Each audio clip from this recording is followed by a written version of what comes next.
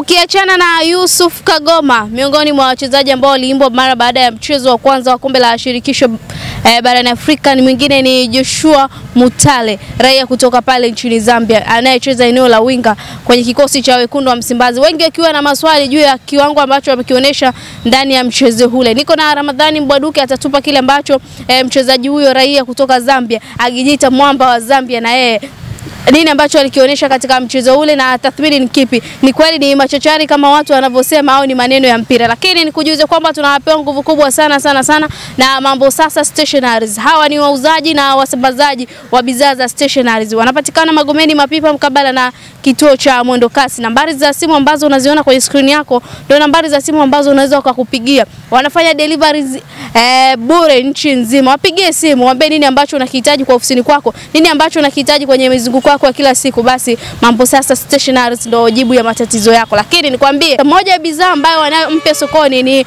Canon 350i hii ambayo ina uwezo wa kutoa photocopy kuprinti pale ndo nyumbani. Hao ni Mambo Sasa Stationaries. Lakini chuo cha ualimu UKA, chuo ambacho kinatoa eh, kozi ya ualimu wa ualimu wa diploma kwa shule za awali, ualimu wa diploma kwa shule za msingi. Hawa wanapatikana Temeke, Dar es Salaam, mkabala na uwanja wa Uhuru. Nao nambari za simu ambazo unaziona kwenye skrini yako na nambari za simu ambazo unaweza ukawapigia simu na wakaambia kila ambacho unakihitaji kwenye chuo chao ama nini ambacho unatamani kupata maelezo zaidi, ni nambari za simu ambazo unaziona, wapigie simu. Lakini mimi binti Po ama Imelda Po naenda kuzungumza na Ramadhani Mbwaduke atujuze kuhusiana na miongoni mwa nyota ambao waliimbwa sana mara baada ya mechi ya Power, eh, Dynamos na wekundu wa Msimbazi kwenye msimu uliopita, ligi ya mabingwa eh, msimu uliopita kwenye mechi ya siku ya Simba Day pamoja na michezo ambao walikutana. Ramadhani Mbwaduke, habari yako?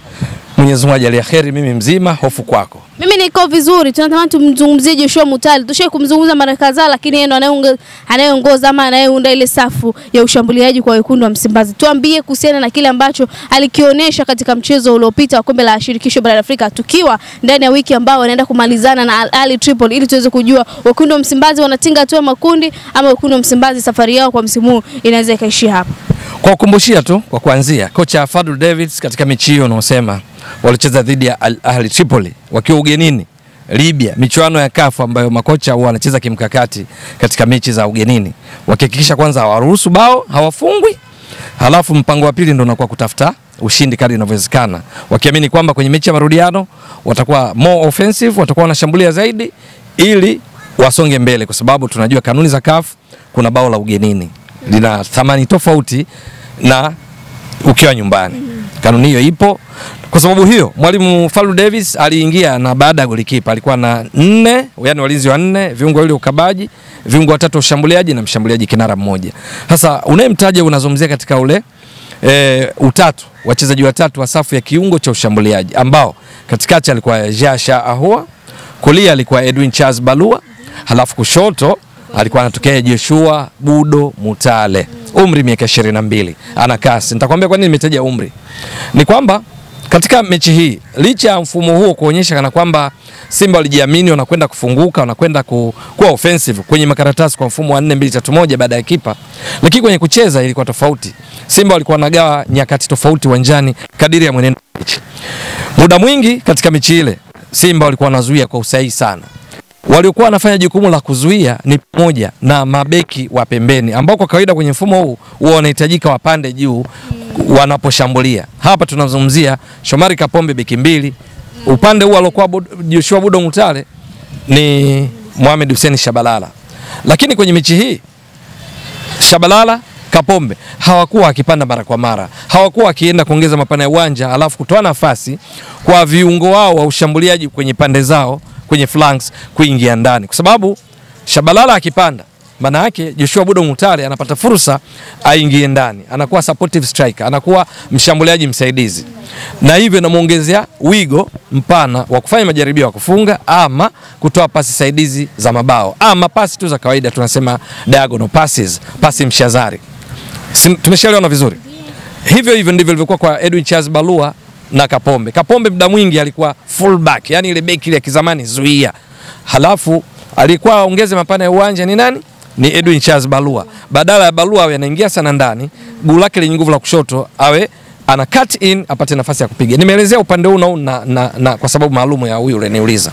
Sasa katika majukumu hayo, kama unataka umpime Joshua Budo Mutale kwa yale makali yake kwenye lango la wapinzani kwa sababu Simba amemsajili kutoka Power Dynamos kutoka kuitaja kwenye msimu uliopita kwenye ligi kuu ya Zambia. Joshua Budo Mutale alimaliza amefunga mabao manane, ametoa assist saba, kachangia mabao 15.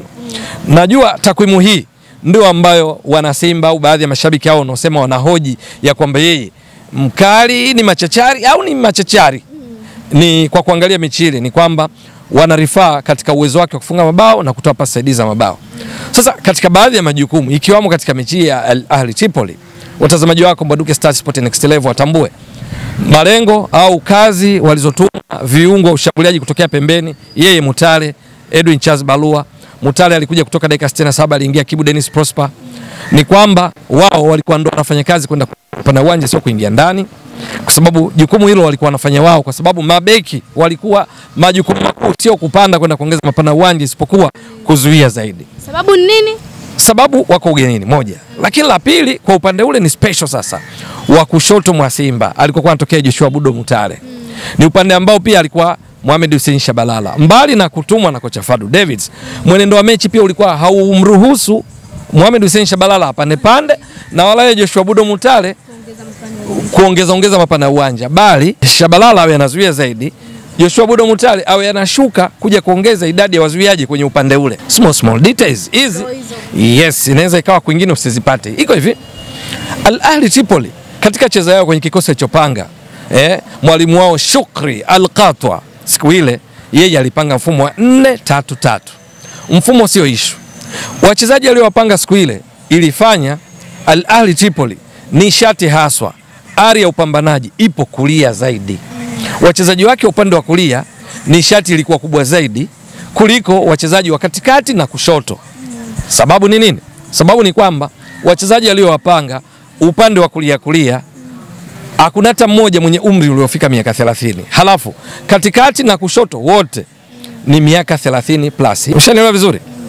Msala walikutana nao wote wanaotoka upande wa kushoto wa Simba ambao ndo upande wa kulia wa Ahli Tripoli, kwa sababu wanakutana na watu ambao wanachaji sana, wanaenda na kurudi, vifua vinaoruhusu, umri wao ni chini ya miaka 30. Ambao ni nani sasa? Kwenye kikosi alivyopanga siku ile, huo upande wa kulia, ukiondoa golikipa Ayman Altihar yeye ana miaka 22, ndo mchezaji mdogo kuliko wote katika kikosi cha Ahli Tripoli kilichoanza siku ile, sawa. Namba mbili wake alikuwa ni Thierry Manzi, ni mchezaji wa kimataifa wa Rwanda, umri wake miaka 28. Halafu mbele katika ile manake ndo 4 3 3. Sasa hawa viungo watatu hao katikati wa upande wa kulia alikuwa ni Kamaldin Taifo, mchezaji wa kimataifa kutoka Sudani, umri miaka 27. Alafu mshambuliaji wao wa kutokea upande wa kulia kwao, maana ndio hiyo 4 3 3, wale watatu wa juu kule kulia alikuwepo Nurad El Ghaibi, umri miaka 23. Sasa umri miaka 23, yuko fiti, anachaji sana, anaenda anarudi, aenda kumsumbua Mohamed Hussein Shabalala mwenye miaka 28. Sawa, lakini ni upande ambao sasa, kwa sababu kulikuwa na nishati zaidi Of course uwanja mzima Al Ahli Tripoli walikuwa na mipango inayofanana, lakini upande huu wa kulia, kwa haya maelezo ninayoeleza, yalikuwa na nguvu zaidi kwenye mapambano na hususan katika kwenda na kurudi, kwenda kurudi kuliko pande nyingine uwanjani za Al Ahli Tripoli. Kwa sababu gani? Hawa ndo wachezaji pekee katika kikosi cha Al Ahli Tripoli kilichoanza dhidi ya Simba waliokuwa na umri chini ya miaka 30. Tukisema umri wa miaka 30 katika mpira wa miguu Binti Paul na watazamaji wako wanajua katika mpira wa miguu ukizungumzia miaka 30 haimaanishi kwamba wewe huwezi kucheza vizuri, haimaanishi wewe huwezi ukawa na nishati, lakini ni kwamba kuna kitu fulani kinapungua, au mtu ambaye ana umri chini ya miaka 30 ana kitu fulani cha ziada pindi sifa nyingine mkifanana, ceteris paribus, mlingane mambo mengine yote. Sasa ikifika kwenye nishati, kwenda kurudi, kwenda kurudi, kwenda kurudi, wa umri chini ya miaka 30 by assumption, kwa mafikirio tu, anakuwa ana nafuu zaidi kuliko wewe mwenye umri wa miaka 30 plus. Kwa kukumbushia, nimekwambia ni wanne tu waliokuwa na umri chini ya miaka 30 ambao ndio hawa: golikipa Altihar nimeshataja, eh? nimeshakutajia beki mbili wao Thierry Manzi, nimeshakutajia kiungo wao Kamaldin Taifun, nimeshakutajia mshambuliaji wa kulia ambaye ni Nuradin, eh, Nuradin El Gaib. Wachezaji wengine je, walikuwaje? Baada Altihar, baada ya namba mbili, namba tatu unajua alipangwa nani? Alipangwa Abdusalam. Abdusalam umri wake miaka 31. Mabeki wa kazi alipangwa, kuna mtu anaitwa Ahmad Kamal Erterbi kama unamkumbuka vizuri, ni katika wale mabeki wa kati. Yeye ana miaka 32. Pacha wake katika nafasi ya beki wa kati alikuwa nani? Alikuwa ni Sand Masaud, ana miaka 32. Katika wale watatu katikati kulikuwa na Ghile Shaaleli ana miaka 30. Kiungo katika wale watatu wa kushoto alikuwa eh, ni Murad El Hedhli ana miaka 33. Sijui unanielewa? Alafu mshambuliaji wa kushoto katika wale watatu wa kushoto alikuwa ni Hamdu El Huni ana miaka 30. Alafu mshambuliaji kenara pale kati wote tunamkumbuka vizuri. Huyu ni Agustinho Mabululu ana miaka 32. Kwa hiyo katika wachezaji 11, wanne tu ndo ana miaka chini ya 30 na wanne hao walikuwa wanacheza upande wa Joshua Mutale, wanacheza upande wa Mohamed Hussein Shabalala. Kwa hiyo hii nayo ni sababu ambayo unaweza ukaona kwamba Joshua Budo Mutale alilazimika kuna nyakati awe machachari, kwa sababu muda mwingi anatoa nishati kurudi nyuma kusaidiana na Mohamed Hussein Shabalala wakiungana na viungo wao pale. Hapa tunazungumzia Deborah Fernandez Mavambo na wengineo katika kuzuia pindi mipira inapokuwa upande ule. Lakini pamoja na maelezo haya, simtetei sana mia mia, mengine yeye naye ameyataka. Kwa mfano, katika nyakati ambazo Simba walipata nafasi ya kwenda kushambulia kwa hatari, ilikuwa dakika ya pili tu ya mchezo, kapata mpira mzuri, ana kasi Joshua Budo Mutale, anachenga, ana mashuti. Alikuwa upande wa kushoto wa Simba, kulia kwa Ahli Tripoli. Wenzake walikuwa katikati wanasubiri hiyo huduma kutoka kwake. Yeye alichofanya akafanya majaribio ya kutaka kufunga mwenyewe. Mpira ulichezwa, ulizaa kona dakika ya pili tu. Lakini baada ya hapo majukumu mengine aliyafanya ni pamoja na kuharibu shepu ya ulinzi ya Al Ahli Tripoli. Ni miongoni mwa majukumu ambayo unaweza kusema aliyafanya vizuri kwa sababu si ana kasi, anakwenda, anarudi. Lakini kwa kiasi kikubwa alikuwa anatekeleza jukumu ambalo si jukumu mama kwa kiungo ushambuliaji kutokea kushoto kwa mfumo ule wa 4 2 3 1 kama yeye. Ilitazamiwa awe anasumbua zaidi kulielekea lango la Al Tripoli. Lakini kwa asili ya mechi husika mipango ya kocha Fadlu Davids kuhakikisha hawaruhusu bao, akajikuta anatekeleza jukumu ambalo ni secondary role, tunasema sio jukumu la msingi la nafasi yake. Nafasi yake jukumu la msingi ni kama kiungo ushambuliaji, ni winga, lakini alilazimika kama ilivyokuwa kwa wachezaji wengi wa Simba siku ile kufanya majukumu ya kiulinzi kwa usahihi, na ambayo mimi naweza kuona kwamba alifanya vizuri, lakini mwisho wa siku analo la kufanya kwa convince, kuwashawishi wana Simba Watanzania kwa ujumla katika mechi hii ambayo wapo nyuma ya Simba kuhakikisha wanasonga mbele kwa hatua ya makundi, awathibitishie juu ya makali yake mengine, juu ya kile ambacho Simba waliacha wachezaji wote wa nafasi yake kwa ukwasi walionao Simba wakamfata yeye. Simba wakawazidi kete eh, klabu nyingine mbalimbali ikiwemo Kaizer Chiefs ambao walikuwa wanamfukuzia akionyesha sasa katika mechi ya marudiano kwa kufanya jukumu la kushambulia zaidi kwa uzuri akiingia ndani, kwa sababu naamini kocha Fadlu Davids katika mechi ya marudiano hatacheza kama Libya, ndio kwa sababu kule alifanikiwa, amepata suluhu, hakuruhusu bao, lakini yupo nyumbani sasa. Namna pekee ya kusonga mbele, Simba lazima washinde, hawana opsheni nyingine. Bila bila ni penati, penati hazina mwenyewe, ni hatari, lakini sare yoyote ya mabao inawabeba Al Ahli Tripoli ili washinde. Nani anahitajika kufanya kazi hii vizuri? Ni pamoja na Joshua Budo Mutale, ni pamoja na Edwin Charles Balua, pamoja na Kibu Dennis Prosper, pamoja na Lionel Ateba Mbiba, Jasha Ahua, Steven Dese Mukwala akipata nafasi na mwingine yoyote katika safu ya kiungo cha ushambuliaji na washambuliaji kwenye mechi hiyo. Sasa kama akifanya tofauti na matarajio haya, hapa sasa hoja itakuja kama huyu mm, ni mchezaji haswa wa kiwango cha Simba wanayemtaka kwa ajili ya wapeleke mbali mchuano kimataifa au ni machachari? Kwa sababu kumbuka, Simba hawezi kutumia fedha nyingi kuleta mchezaji kama yeye. Katika nafasi kumi na mbili tu kwa wachezaji wa kigeni, wakampa yeye, wanamlipia vibali vya kufanya kazi nchini, kuishi nchini, halafu asifanye kile ambacho anakitarajia, kwa sababu vinginevyo timu kubwa kubwa hizi kama Simba wanakuimba, alafu ikifika pa dirisha dogo unaweza ukasikia Thank you. Shukrani sana. Shukran jazila. Huyu ni Ramadhani Mbwaduke, mtazamaji wa Mbwaduke Start Sport Next Level. Bila shaka umepata zile small small details, kwa sababu watu walikuwa wanazungumza tu ile ni machachari, lakini umesikia sababu ni ipi?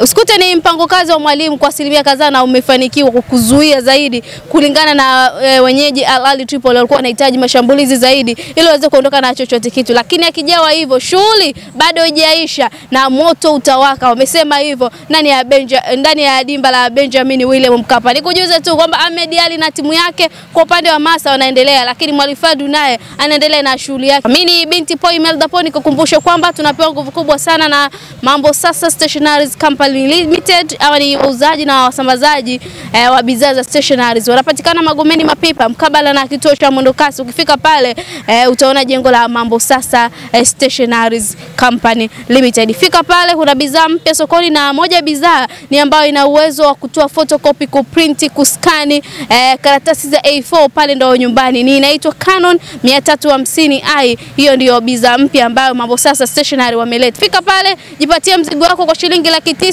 Eh, kwa jumla kuna mazungumzo ili kuibie tu siri ndogo, lakini tunapewa nguvu kubwa na wengine. Ni chuo cha ualimu UKA, wanatoa elimu ya ualimu wa diploma kwa shule za awali, wanatoa elimu ya ualimu wa diploma kwa shule za msingi. Fika pale Temeke jijini Dar es Salaam, fika pale mkabala na uwanja wa Uhuru, ama nambari za simu ambazo unaziona hapo, wapigie simu basi watakupa maelezo mengi na mazuri zaidi. Lakini sisi familia Mbwaduke Start tunaendelea kubaki hapa, maana mambo mengi yapo, lakini sasa hivi small small details ndo mpango mzima.